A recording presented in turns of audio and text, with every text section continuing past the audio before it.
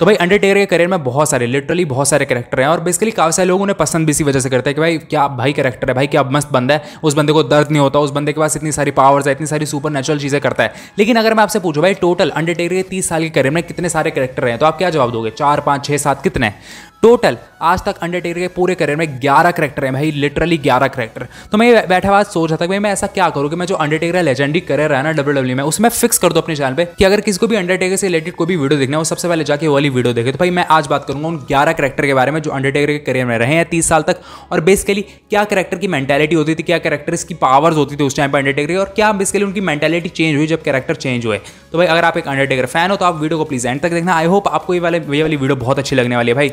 तो प्लीज़ आप वीडियो को एंड तक देखना। चैनल पर पहले बार तो प्लीज़ सब्सक्राइब कर देना और वीडियो को लाइक भी कर देना चलता है वीडियो की तरफ़। भाई, सबसे पहले बात कर लेते हैं, जब उनका डेब्यू हुआ। बेसिकली उनका डेब्यू था 1990 में और बेसिकली जब उनका डेब्यू होने वाला था तो विंस मैन उनको ये चीज़ कहती थी भाई, तुम, तुम्हें हमने एक ऐसा करेक्टर देंगे, जैसा आज तक किसी के पास रहा ही नहीं है।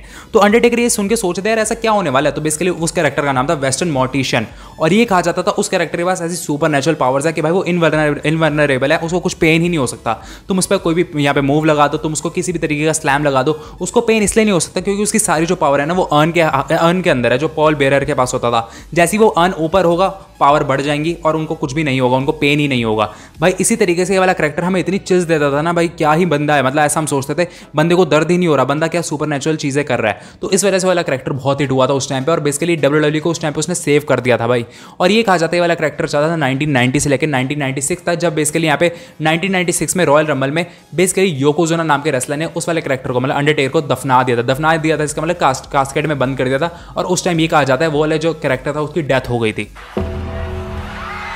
अब बात करते हैं उसके बाद क्यों बेसिकली 1996 के आसपास बेसिकली मिलियन डॉलर मैन है, जो कि आज basically Ted DiBiase junior के मतलब फादर थे टेड डी बियासी नाम था उनका। उन्होंने बेसिकली अपना एक अंडरटेकर यहाँ पे इंट्रोड्यूस कर दिया, जिसका नाम एक्चुअली में ब्रायन ली था, जो क्या कहते थे कि ये अंडरटेकर असली वाला। लेकिन उसी टाइम समझ स्लैम में अंडरटेकर वापस आया और उन्होंने बताया कि भाई, मैं असली अंडरटेकर हूँ। जब उन्होंने फेक अंडरटेकर को हरा दिया और ये कहा जाता है, भाई, उस टाइम पॉल बेरर जो कि उनके पहले मैनेजर हुआ करते तो उन पर टर्न ऑन हो गए थे। मतलब उनको छोड़ कर चले गए थे, उन्होंने बेसिकली उनको बैक स्टेप कर दिया था और वो चले गए थे मैन के पास। उस टाइम पे हमें मैन के साथ अंडरटेकर की इतनी सारी फ्यूड्स दिखी ना, इतनी सारी लेजेंडरी फ्यूड दिखी हैं। उस टाइम हमें ये दिखाया जा रहा था कि अंडरटेकर ने मैन को लिटरली दफना दिया, हरा दिया, लेकिन हमें दिखाया जाता है 1996 के आसपास उनका बेसिकली एक बड़ी डलाइव मैच होता है इन इन योर हाउस में। तो ये ये कहा जाता है कि भाई अंडरटेकर किसी तरह किसी तरीके से जीत तो गए थे, लेकिन एंड में सारे सबने मिलकर मैन के साथ अंडरटेकर को दफना दिया था। तो और ये कहा जाता है, उस टाइम पे 1996 में उस वाले करेक्टर की भी डेथ हो गई थी। लेकिन उसके बाद टाइम बीतता गया और उसके बाद अंडरटेकर का एक यहाँ पे भाई को इंट्रोड्यूस कर दिया गया स्टोरी लाइन में। पॉल बेयर ने हमें बहुत टाइम से लिटरली बहुत टाइम से बता रखा था भाई अंडरटेकर तुमने मेरे साथ गलत किया और अब तुम्हारा भाई आने वाला है तुमसे रिवेंज लेने के लिए और हमें दिखाई देता है उनका भाई केन आ जाता है। इस बार जो अंडरटेकर का करेक्टर था ना भाई, उनको एक्चुअल में एक टीयर ड्रॉप भी थी, आप राइट हैंड राइट वाली आइस को आप देखोगे तो उसके नीचे एक टीयर ड्रॉप भी आपको दिखेगी। लेकिन इस टाइम पे अंडरटेकर की सुपर नेचुरल पावर्स हमें इंट्रोड्यूस कर दी गई थी उस कैरेक्टर की। बेसिकली कैरेक्टर की अंडरटेकर की नहीं कैरेक्टर की। और उस, वो वाला कैरेक्टर जो था, वो बेसिकली अपनी लाइट्स थ्रो कर सकता है मतलब फायर बॉल्स निकाल सकता है, बहुत सारी और पावर्स कर सकता है माइंड मैनिपुलेट कर सकता था। वक्त बीतता जा रहा था भाई अंडरटेकर ने अब यहाँ पे केन को भी हरा दिया था, बहुत सारे और सुपर स्टार वो डोमिनेट कर चुके थे। लेकिन अब जो कैरेक्टर आने वाला था ना, वो सबसे ज़्यादा आज तक का डब्ल्यू डब्ल्यू की हिस्ट्री में अंडरटेकर सबसे ज़्यादा डिमोनिक कैरेक्टर कहा जाता है। वो था basically ministry of darkness ministry of darkness का वो वाला टाइम था जब इसके लिए अंडरटेकर कह रहे थे कि भाई, बहुत साल से, बहुत टाइम से मतलब बहुत महीनों से अंडरटेकर ये चीज़ बता रहे थे कि भाई डार्क डेज़ आने वाले हैं, बहुत खराब टाइम आने वाला और हम डब्ल्यू डब्ल्यू एफ़ पे कंट्रोल कर लेंगे। ये ऐसे भी कहा जाता था कि भाई, उस टाइम पे डब्ल्यू डब्ल्यू ने ये वाली स्टोरी लाइन यहाँ पे इंस्पायर कर दी एन डब्ल्यू से, जो कि डब्ल्यू सी डब्ल्यू में भी चल रही थी। लेकिन जब मिनिस्ट्री ऑफ़ डार्कनेस शुरू हुई तो अंडरटेकर ने बेसिकली अपनी एक टीम बनाई और ये कहा जाता था कि भाई, वो आज तक का हिस्ट्री में सबसे ज़्यादा डिमोनिक करेक्टर हुआ करता था। बेसिकली हमें अंडरटेकर थ्रोन पर बैठे हुए बैठे हुए भी दिखाई देते थे। वो सामने वाले को पूरा यहाँ पे डोमिनेट करते थे, उनके पास सुपर नेचुरल पावर्स हुआ करती थी और अंडरटेकर वाला करेक्टर सबसे ज़्यादा पावरफुल भी था। लेकिन उस टाइम पे बेसिकली अंडरटेकर की इंजरी हो गई थी और उस वजह से उनको ऑफ़ जाना पड़ेगा था। ये कैरेक्टर चला था जनवरी 1999 से लेके सितंबर 1999 तक। अब बेसिकली डब्ल्यू डब्ल्यू की ये चीज़ समझ आ चुकी थी भाई अंडरटेकर का डिमोनी वाला कैरेक्टर देख देख के लोग हो सकता है कि बोर हो जाए। इसलिए उन्होंने कुछ यहाँ पे नया एलिमेंट डालने के लिए उनको बेसिकली एक पूरा ही करेक्टर शिफ्ट दे दिया। बेसिकली पूरा जो यहाँ पे डार्क थीम थी, पूरा जो यहाँ पे डार्क वाला यहाँ पे परसोना था, उसको पूरा हटा के बेसिकली कूल वाला परसोना देने की यहाँ पे कोशिश करी और ये वाली पर्सनैलिटी थी ये वाला नया करेक्टर था द अमेरिकन बैड का। बेसिकली ये वाला जो बैड नाम है ना इसमें, आप ये सोचो, ये इतना बैड बैडस नहीं, जो आगे आने वाला ना, वो ज़्यादा बैडस होगा, उसके बारे में हम आगे बात करेंगे। लेकिन इस वाले करेक्टर में हमें ये चीज़ें दिखाई दी थी कि भाई अंडरटेकर के पास अब एक नई मूव आ चुकी है, जिसको बेसिकली यहाँ पे वो कहते थे लास्ट राइड पर, उसका एक्चुअल में नाम है बेसिकली एलिवेटेड पावर बॉम्ब कहा जाता है उस वाली स्टोर लाइन में यहाँ पे सारा भी आ चुकी थी, जो उनकी वाइफ थी, उनका बेसिकली टैटू भी था उनके यहाँ पे गले पे। बहुत सारी नई नई स्टोर लाइन हमें दिखाई देती थी, वो बाइक पे आते थे, बहुत कूल लगते थे वो। लेकिन जब वो वाला कैरेक्टर खत्म हुआ 2001 में तो उसके बाद जो कैरेक्टर शुरू हुआ ना, वो बेसिकली मेरा आज तक का फेवरेट है वन ऑफ़ द फेवरेट है। ये कैरेक्टर था बिग ईवल का। अगर आप यहाँ पे अलग यहाँ पे मतलब आप जान सको कि भाई दोनों कैरेक्टर में क्या फ़र्क है तो आपको पता चलेगा बिग ईवल वाला कैरेक्टर कितना बढ़िया था भाई। ये बेसिकली वो वाला टाइम था जब अंडरटेकर ऐसे बन चुके थे भाई मेरे को कोई घंटा फ़र्क नहीं पड़ता किसी चीज़ से।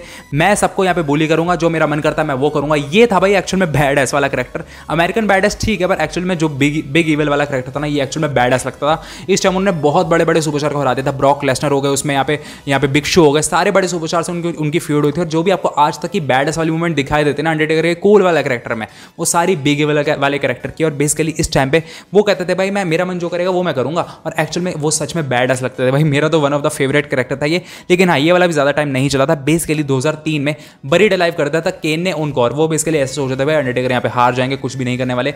लेकिन यहाँ से शुरू होता है उनका एक नया करेक्टर अगला जो करेक्टर था ना, उससे बेसिकली काफ़ी सारे लोगों ने अंडरटेकर को जानना शुरू किया था। ये था बेसिकली द फीनोम का करेक्टर इसको बेसिकली रेसलिंग टर्म में कहते थे डेडमैन हाइब्रिड ये डेडमैन हाइब्रिड इसलिए कहते थे क्योंकि ये जो ट्रेंच कोट था ना ये बेसिकली हमें दिखाता था कि भाई किस तरीके से वो जो अमेरिकन बैडस वाला वो वाला परसोना भी है और किस तरीके से जो मतलब जो बेसिकली यहाँ पे हैट है और जिस तरीके से उनका करेक्टर है, वो बेसिकली हमें थोड़ा सा यहाँ पे मतलब जो स्टार्टिंग में हुआ था वेस्टर्न मोटिशन वो वाला भी करेक्टर की थोड़ी सी यहाँ पे वाइब देता था। इसलिए इसको हाइब्रिड कहा जाता था। ये दोनों करेक्टर का मिक्स था। लेकिन इस टाइम पर और ज़्यादा डिमोनिक हो गए थे। बहुत सारे उनके पास सुपर नेचुरल पावर्स आ चुकी थी उस वाले करेक्टर के पास। वो बेसिकली लाइटिंग निकाल सकता है, वो बेसिकली आग निकाल सकता है, बहुत चीज़ें वो कर सकता है माइंड गेम्स खेल सकता है। इस वाले टाइम पर बेसिकली मेनिया ट्वेंटी से लेकर एस मेनिया ट्वेंटी से लेकर केन को हराने से लेकर यहाँ पे उन्होंने बहुत बड़े बड़े सुपर स्टार हो रहा है उस टाइम पे बेसिकली उसमें बहुत सारे लोग हैं, वहाँ पे बिग बिग डैडी हैं, वहाँ पे खली हैं, बहुत सारे और सुपर स्टार है जिसको अंडरटेकर ने उस टाइम पे हराया था। उनका कैरेक्टर का अगला एपिसोड आता है 2008 में। बेसिकली इस वाले इस वाले यहाँ पे पूरे परसोना का नाम था, इस वाले पूरे टाइम का नाम था एरा का नाम था।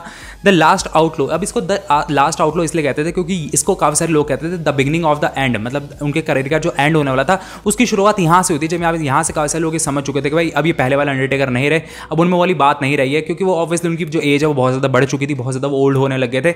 ये वाला पूरा जो टाइम था, ये चला था दो हज़ार आठ से लेकर दो था, जब इसके लिए पूरा टाइम कंसिस्ट था।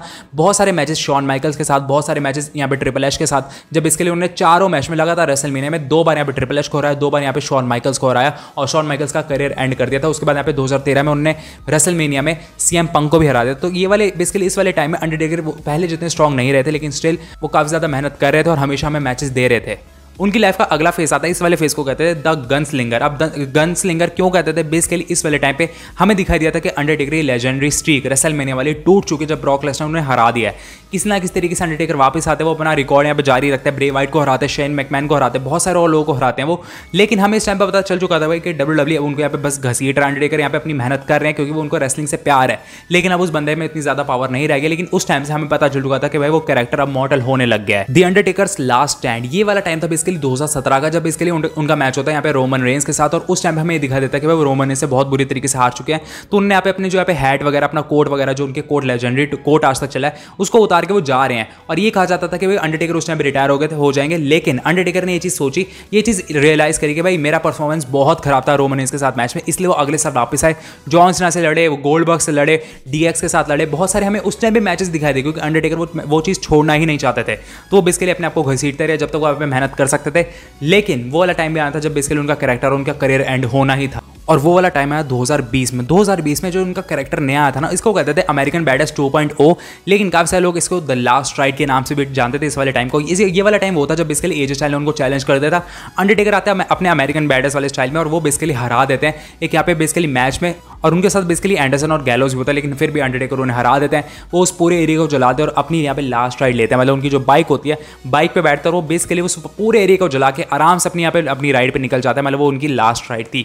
उसके बाद उनका करियर एंड हो गया था। ये वाले करियर में भाई इतनी लेजेंडी मोमेंट्स आई ना भाई कि ये वाले करियर पर मैं जो वीडियो बनाते हुए अभी चल जा रहे हैं भाई, मुझे लिटरली अंडरटेकर से बहुत ज़्यादा प्यार था। भाई मेरे, मैं मतलब एक टाइम वो भी था जब मैं रेसलिंग ही देखता था अंडरटेकर के लिए यार। हमें उन्होंने इतनी सारी मेमोरीज दी तो ऑब्वियसली यार हमें, हमारे तो वो ऑब्वियसली फेवरेट होंगे। अगर आप ये वीडियो अभी तक देख रहे हो ना भाई प्रॉपर आप एक अंडरटेकर फ़ैन हो भाई ट्रू आप अंडरटेकर फ़ैन हो। तो भाई अगर आपको वीडियो अच्छी लगे तो प्लीज़ वीडियो को आप लाइक करना और मुझे किस किस टॉपिक वीडियो बनानी चाहिए प्लीज़ नीचे कमेंट में बता सकते हैं। चैनल में पहले बार तो सब्सक्राइब करना। मिलता है भाई लोग नई वीडियो में, तब तक के लिए बाय